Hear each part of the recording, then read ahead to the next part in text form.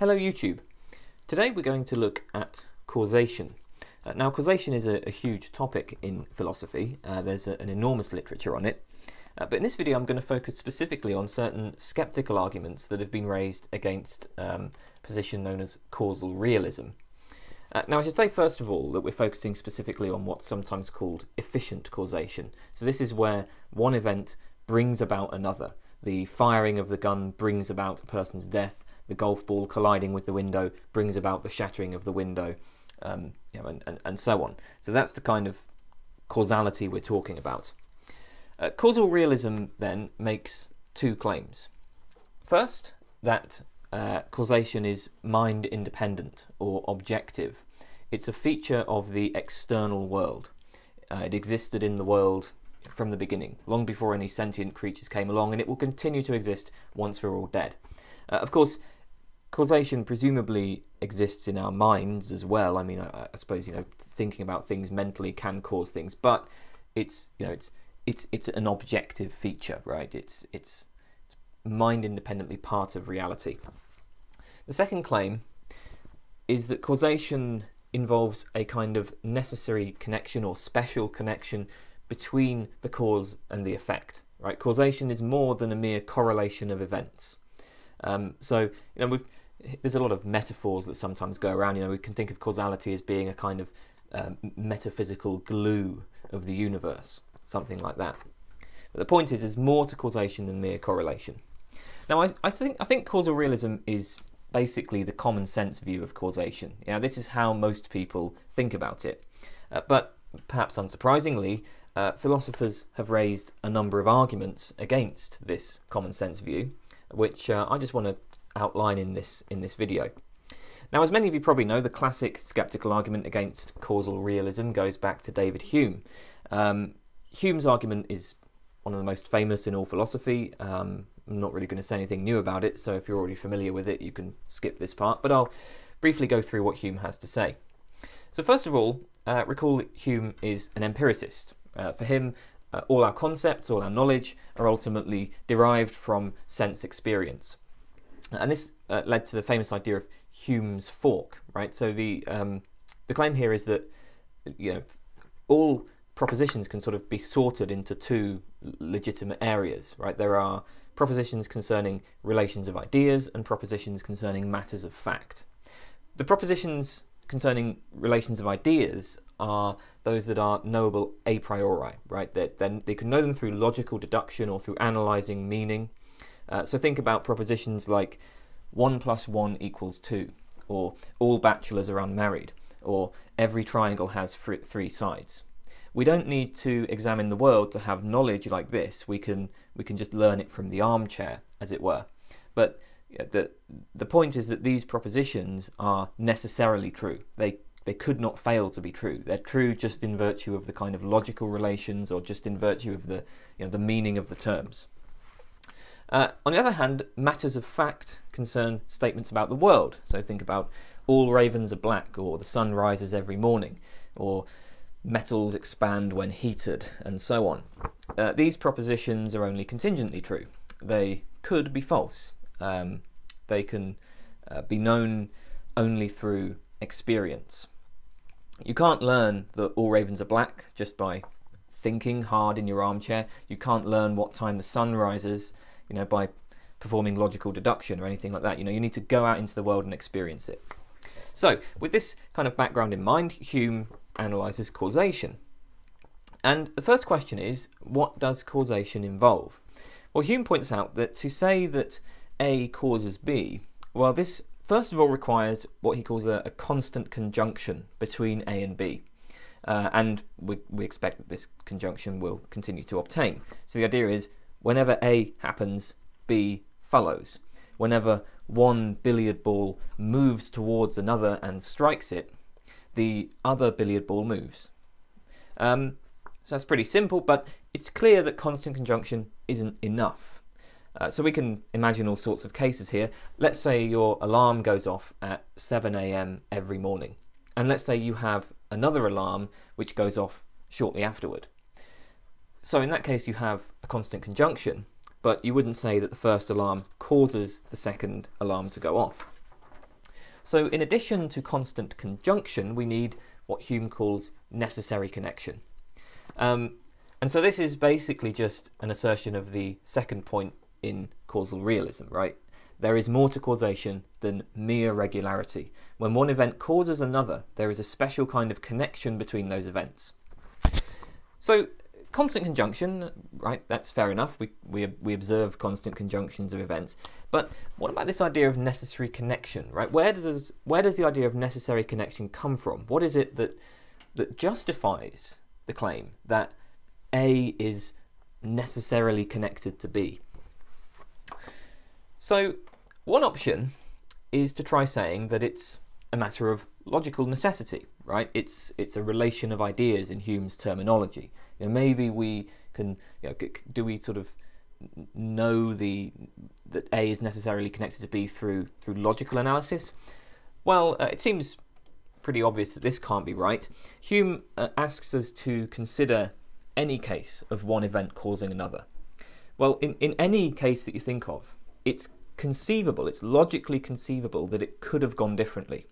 Uh, from the knowledge of A alone, we have no way of knowing what the nature of B will be, or even whether there will be any uh, other event at all, right? So one billiard ball hits another, and we expect the other billiard ball to move in a particular direction.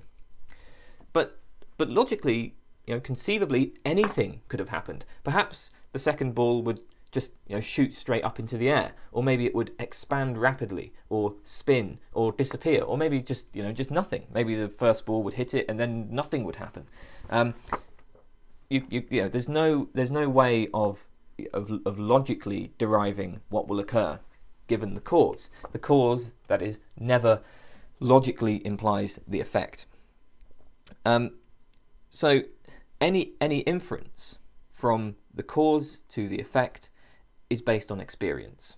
Um, the only way to infer what will happen to the second ball is on the basis of past experience of balls hitting each other, or at least uh, objects relevantly like balls hitting each other. Right. So, yeah, either we've seen billiard balls interact before, or we've seen things uh, that are relevantly like billiard balls interact. I mean, maybe we've seen what happens when two beach balls hit each other, for example, and so that's what allows us to uh, kind of understand what will happen when two billiard balls interact. But the point is that it's only by experience that we discover causal powers. Causal claims concern matters of fact, not relations of ideas, so they can only be justified through experience. So, um, do we get the idea of necessary of necessary connection through sense perception? I mean, do, do we in some sense observe the necessary connection? Well, again, Hume says no. Whenever we perceive any case of uh, apparent causality, the experience, the actual sensory data, is simply of constant conjunction. You have no sensory impression of necessary connection. So I mean, just think about, uh, you, you, know, think, think about, say, a ball moving and then hitting another, right? But all you see here is, is the motion. All you see is one ball moving and it touches another and then the other ball moves. That's all. Right. Similarly, if you strike a match and hold it to a piece of paper, you see the paper burning. But in, in none of this do you ever see or hear or feel the necessary connection between these events. It's it's just it's just particular events occur in a particular sequence. So a final possibility that Hume considers is the suggestion that well maybe necessary connection isn't perceived in the external world, but maybe it's perceived in ourselves when we move our bodies.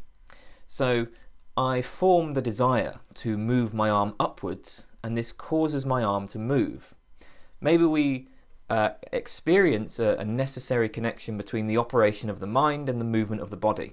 And then, of course, you can assume that objects in the external world interact in the same way. So that's where the idea of necessary connection comes from. But still, uh, Hume denies that we perceive any uh, necessary connection here. I have no idea how I actually move my arms, right? I have no idea how the internal power of my mind actually works. I mean, one way to think about this is to consider that I can move my arm, but I can't move my liver, say. But, but why, right? Why do I have control over some body parts and not others? Well, that's not something that's accessible to consciousness. Or consider the case where uh, I become paralyzed in my arm. Well, if I then try to move my arm, my mind performs precisely the same operation as it did when my arm wasn't paralyzed, right? I mean, the, the, experience of sort of trying to move your arm is the same either way. It's just that in one case your arm does move and in the other case it doesn't. So, you know, that so so we don't sort of experience that necessary connection between the the willing it to move and the arm moving. And I think Hume's point here is, I mean, I think he's pretty pretty much correct, and you can be supported by the the modern scientific discoveries, right? We we now uh, know that the you know the kind of causal chain from the mind to the body, right, involves the brain sending signals down nerves. But that required scientific discovery, right? We, we clearly have no experience um, of the actual causal chain from the mind to the body, so we don't experience the necessary connection in ourselves. So, Hume concludes that necessary connection is really what's going on is that it's just a matter of subjective certainty that constant conjunction will continue. Uh, we perceive particular cases of constant conjunctions, and as this happens again and again and again, a, kind of habit of the mind is formed, so that when we view a cause, we come to expect the effect with increasing confidence, right? We, we, we naturally expect the effect just in perceiving the cause. Um, so, A causes B. What's going on there is we perceive A, and as a result of this habit of the mind, we are led inexorably to the idea of B. And, and you know, with each case of perceiving a constant conjunction like this, this subjective certainty grows. And this subjective certainty is where the idea of necessary connection comes from. When we assume that necessary connection is somehow in the cause itself, is, is, is sort of in the world itself, that's a psychological projection. It's similar to how uh, we might assume that the smell of an apple, say, is in the apple itself. But of course, when you, when you think about it, it seems pretty obvious that well, the smell is a psychological phenomenon. The, the smell, you know, smelling an apple, right? That's something that the apple causes in us. That sensation is something the apple causes in us as a result of you know, the particular structure of our noses and our brains. Um, so to, to, to think that the apple somehow has, has a smell in it in itself is a psychological projection. And Hume thinks that the same kind of thing is going on with necessary connection. We're just projecting a subjective sense of certainty out onto the world.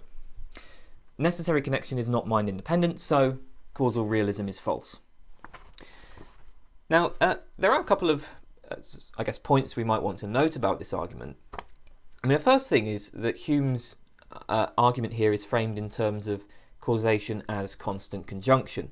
Now, you might think that this is rather dated because, of course, nowadays people often speak about probabilistic causation, where one event uh, does not needn't necessarily lead to another, um, but only increase its probability. I mean, there's a lot of evidence that on the quantum level, for example, events are uh, indeterminate and probabilistic. I don't really think that this is uh, much of a problem for, for Hume. I don't think this really alters the force of his argument. The, the real point he's making here is that there's a special kind of connection between cause and effect, right? I mean, and, and, and this connection is precisely what, what justifies the distinction between causation and mere correlation. But the, the point that Hume is making is right, that this connection, this special connection, is not derived logically, right? It's not perceived uh, in through the senses in the external world, and it's not perceived in ourselves, right? And so there doesn't seem to be sort of anywhere for you know there, doesn't seem to be any way in which this this notion of a special connection can be justified, and probabilistic causation doesn't really help with this point. Now, of course, in, in modern sciences, we do have a lot of new means of distinguishing between causation and mere correlation. There are techniques like regression analysis, for example, that are used to try to identify genuine causal relations. Um, again, I, I don't think any of these methods really address Hume's problem, right? I mean, even in Hume's day, a distinct people knew there was a distinction between causation and correlation, modern techniques allow us to better identify possible cases of genuine causation and rule out mere correlation. But they don't really uh, address this metaphysical problem raised by Hume. So, I mean, my point here is that we do have a much more sophisticated understanding of causation than Hume did, but we don't seem to be any closer really to explaining just what the special connection between cause and effect actually amounts to. And that I think is, is really where uh, you know, the, the force of Hume's argument lies. Okay, so that's uh, David Hume, as I say, very famous argument in philosophy, but there are a lot of other uh, arguments against causal realism. Um, so, a couple of other arguments are given by Bertrand Russell in his paper on the notion of cause. Uh, Russell held that the concept of causation uh, was deeply confused and it should be eliminated from proper philosophical and scientific discourse. Now, Russell gives essentially two arguments. First, there's the asymmetry objection. Um, so Russell points out that the that causal relations are asymmetric, right? Be being a cause is different from being an effect. You, you can't swap them over. To say A causes B is not equivalent to saying that B causes A. Uh, and importantly here, the causal relation is asymmetric with respect to time in that causes always precede effects. Um, so it's, it's temporally asymmetric. And actually, there are some philosophers, I think, who suggest that there could, in principle, be uh, backward causation, where the, the effect happens before the cause in, in some you know very strange scenarios. Um, but you know, even in those cases, there's still a, a, kind of temporal asymmetry because the point is that the cause and the effect you know, couldn't be couldn't be swapped over. However, fundamental physical laws are temporally symmetric. Um, you know, the, the point is that you just, in, in, the case of a fundamental physical law, what you have is an equation. Um, such and such uh, equals such and such.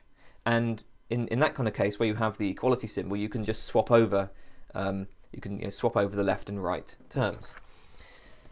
So Russell gives the example of you know, the, the law of gravitation, right? We can apply this to two bodies to determine the gravitational force that each exerts on the other. But Russell says there's nothing like a cause or effect here, there's, there's simply a formula. As um, Richard Corry in Causal Realism and the Laws of Nature puts it, he says, if the state of a system at time t determines the future states of the system according to these equations, then it will equally determine the past states of the system. So given the current state of the system and given the laws of gravitation and other laws, we can derive what the system will look like at a later time. But similarly, we can derive what the system looked like at an earlier time. We can derive both the later and the earlier states. So there's there's no um, temporal asymmetry here. So, you know, we might say that the gravitational force of the Sun causes the Earth to orbit it or something like that, but this causal claim is not entailed by the physical law itself. Causal claims are asymmetric, physical laws are symmetric. So, according to Russell, there is no place for a causal relation in a properly scientific worldview. Now, notice that this argument um, leads to a rejection of causal realism only if we assume that all true claims are reducible to physics. Ultimately, the only truths are those that are expressible in fundamental physical laws. So, this is a very strong kind of reductionist physicalism. Uh, without this, this kind of reductionism, then we could hold that, you know, we can hold that insofar as other branches of science, like biology and geology, make claims that are not entirely symmetric, well, that's enough to vindicate the symmetry of causal claims. Um, and I think this very strong kind of reductionism tends not to be so popular these days, so um, I suppose this argument is not taken as having quite so much force. Perhaps a more powerful argument uh, given by Russell is the intervention objection. First, uh, Russell claims that causation involves causal laws. Uh, and I think this is fairly reasonable. So the idea is just that you know, the, the basic form here will just will be the claim that say when events of type A occur, events of type B will occur. When a person drinks X amount of cyanide, they will die. When a golf ball collides with a window at a certain velocity, the window will smash. When a match is struck against a particular kind of surface, it will burst into flame. Just these sort of gen- generalizations like that. Uh, uh now, a law along these lines requires that uh, A and B denote events that can be repeated. It must be uh, the case that a law has more than one instance, or we're not really dealing with a law at all. We're just describing a single sequence of events, and that would be trivial. That wouldn't be a law. Um, and, you know, there doesn't really seem to be any problem here because we assume that events are repeated all the time. I strike a match, and it produces a flame. Well, many people have struck many matches and produced many flames. But notice that when we say that striking a match is something that can be repeated, we're restricting our attention very closely to just one small part of the world. We're focusing just on the match head, right? We're just thinking about a match head being moved across a certain surface. Now, if you consider a more comprehensive state of the world, right, then actually repetition doesn't occur. So if you consider the current state of the Earth as a whole, with a particular distribution of fauna and flora or whatever, well, that's never occurred in the past and never will again. So we don't have repetition there. So what this tells us is that causal laws can't be general and comprehensive. All causal laws must focus on very specific parts of the world. But now here we run into a problem. Because if we don't include a large amount of background information about the general state of the universe in our causal law, then it's it's always possible that the, the general environment could be such as to prevent the effect, or that something could, could intervene to prevent the effect. So take the case of the match. Well, there are all kinds of contexts where striking a match actually won't produce a flame. Suppose there's no oxygen, or there's a very strong wind, or it's uh, raining and a raindrop hits the match just as you strike it, and so on. We can only know that the purported cause will produce the effect if we know a great deal about the environment where the purported cause occurs. So the statement of a causal law then is actually going to have to give uh, quite a comprehensive statement of of of the of the world, right? So so when we say that A causes B, Right? It's not good enough just to say that you know, striking a match is A. We need to then list the general features of the uh, the wider environment, right, in our antecedent. So basically, we have uh, uh, have a dilemma. If the causal law right doesn't specify the general state of the environment, then it's going to be false. So you know, if if A doesn't detail the state of the environment, then the law will be false because there will be a host of cases where A will not produce B. On the other hand, as we describe more of the environment, the probability that A will be repeated decreases, decreases to nil, in which case, again, it's not really a law, it's just a description of a particular sequence of events. So that's a bit of a problem. Uh, a similar way to uh, the same kind of conclusion is the exactness of science. Um, science doesn't just tell us qualitative facts about nature, right? You don't just get, for instance, that, well, if you release a stone above the ground, then the stone will fall. Okay, we don't just give those qualitative facts. Scientists try to quantify exactly how fast the stone will fall under particular conditions. So, how fast will a stone fall? Well, you know, it depends on the density of the air, on the strength of gravity uh, at that particular point, and you know, of course, the, the strength of gravity uh, differs quite subtly at different parts of, of the Earth's surface. Um, so you know, all of this, all of these different things are going to have an influence. Science is precise and exact in you know, in, in the sense that it is going to care about all of these things that have an influence. We don't just want to state the effect, we need to quantify it. So a stone falling at you know, 9.5 meters per second, that's a different event from a stone falling at 9.8 meters per second.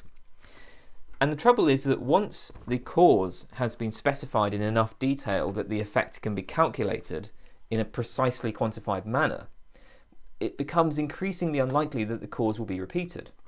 Um, know, I mean, in fact, again, right? If if you just take, if you were to give enough detail, if I hold a stone right now and then release the stone, if you were to provide enough detail about the environment, then that probably never will be repeated.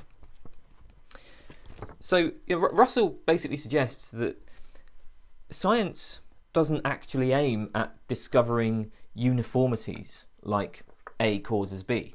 Right? It, it instead aims at, at precisely quantifying um, the, the antecedent and the, quantis, and the consequent events. And that is going to block you from uh, you know, deriving these um, general regularities. So uh, that's basically the intervention objection. Right, uh, now I'd like to briefly discuss three arguments that are discussed by uh, Anjan Chakravartty in his book A Metaphysics for Scientific Realism. Uh, these final three arguments are quite similar to Zeno's paradoxes, if you're uh, familiar with those, so maybe of some interest for that reason. First, there's what Chakravartty calls the continuity, contiguity objection. Uh, this objection starts with the assumption that for one event to cause another, those events must be contiguous in time. Uh, no time can pass between the cause and the effect. Why? Why must this be the case? Well, because if not, then following the cause, it seems that in principle something could intervene to prevent the effect. And this would uh, violate the necessary connection between the cause and the effect. Right, so, so the effect must immediately follow the cause, and that way it can't be blocked. Uh, now, there are, of course, um, causal chains. Uh, if, you, you know, if you have a line of dominoes, the first domino falls, and then a minute later, the final domino falls. And we would probably say that the first domino falling caused the last one to fall. So in this case, it looks like cause and effect are contiguous. Um, but notice that what we have here is a causal chain between the first and the last event and, and, and we assume that each link on the causal chain is contiguous in time with the next. So, the problem is that time is dense. Um, between any two instants of time, there are further instants. So for any events A and B, take the instant at which A terminates and the instant at which B begins, there are further instants of time between those two points which means that A and B are not contiguous, and so A cannot cause B. Now, obviously, um, the quite controversial claim here is that time is dense. Uh, you may have heard uh, in physics, you know, there's uh, there's this thing Planck time. Planck time is often considered to be the shortest length of time that has any meaning in physics. It's the it's the shortest length of time that it's even in principle possible to measure. Um, but that's not to say that it's the shortest duration of time. There may be shortest durations, it's just that we can't measure them. Uh, and Chakravartty suggests that actually in physics, it is often assumed that time is dense um, in, in the sense that you know, there is no shortest duration. I, I, don't really know physics, so I'm not uh, qualified to comment on that. But um, you know, I think that that's one obvious way to attack this argument is is to um, deny that time is dense. But that's the contiguity objection. Second, there is the regress objection. Um, so, uh, you know, let's say that A causes B, but now focus just on A itself. A is an event, and as such, it will involve changes over time. Uh, let's say the golf ball causes the window to smash. Well, the first event is the ball, the ball flying through the air and colliding with the window. But now this can be broken down into shorter events. The ball moves through the air. The ball touches the window. The ball pushes against the window. The ball goes in and the window deforms and so on. There's a long sequence of events that makes up the larger event we're labelling A.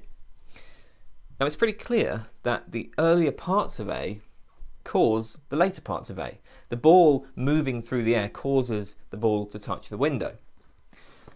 And notice that if the earlier part of A causes the later part of A, the earlier part of A can't be the direct cause of B. The earlier part of A is just the first link on a causal chain. So the question is, what is the direct cause of B? And this is where the regress arises. So let's say we designate some part of A, call it A star, as the direct cause of B. But now there will be a causal uh, relation between the earlier and later parts of A star. Uh, the, uh, and that means that the earlier part of A star can't be the direct cause of B. So it must be the later part of A star, call it A star star, right? And the problem arises again here, okay, because the A star star is going to have earlier and later parts.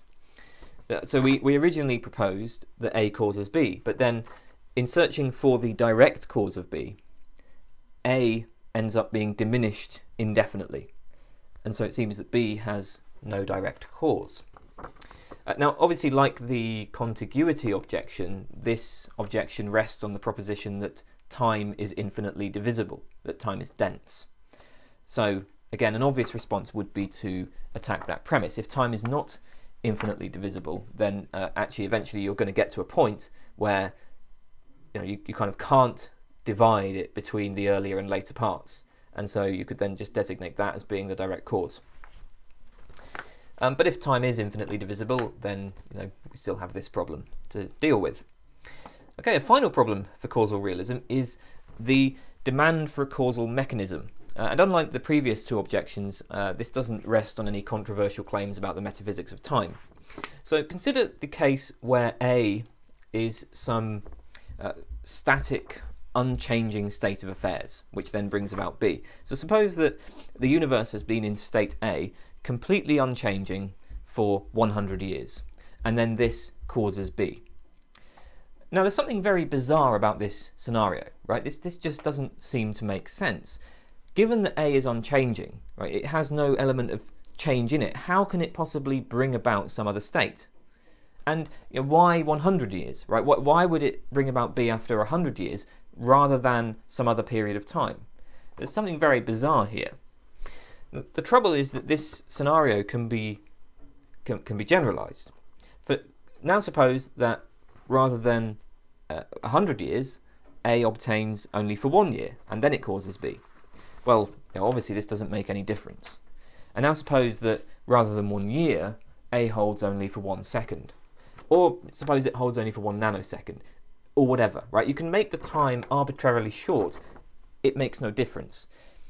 Uh, and even if we say that there is a shortest duration of time and that A occupies just that shortest duration of time, again, it's not at all clear how something unchanging for that duration can produce change, right? So the the problem that this objection is pointing to, I guess, is that it just doesn't seem that any causal mechanism is really possible. There, do, there doesn't seem to be any way to connect up causes and effects uh, in such a way that the you know, the necessary connection is is, is vindicated.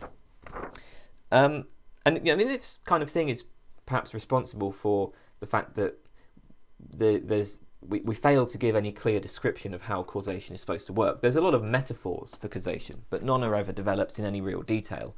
Um, so we've spoken in this video about causation as involving necessary connection between causes and effects. That's a phrase popularized by Hume. Uh, we also talk about causes bringing about effects, or an event has the causal power to give rise to its effect. Causation is sometimes described as the cement of the universe or the glue of the universe. There are causal links and causal chains. None of these terms, when you think about them, are actually all that clear. And you know that I suppose that perhaps the fundamental concern here is just, well, how does how do you get from a, a kind of unchanging event, regardless of how short that event is, how does how could that bring about something else? So um, those were some of the problems that have been raised uh, against causal realism. Um, as I say, a common sense view, but you can see that it actually faces a lot of uh, quite tricky puzzles. Um, so I, I, just wanted to outline those in this video, and um, that's all for now. Thanks for watching.